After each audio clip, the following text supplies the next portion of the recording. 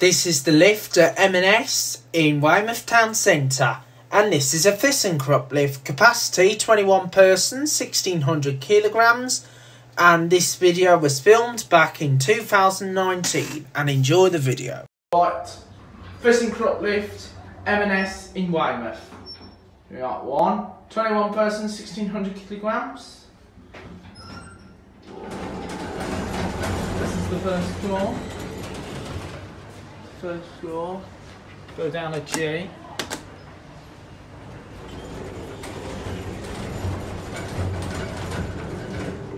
This takes more.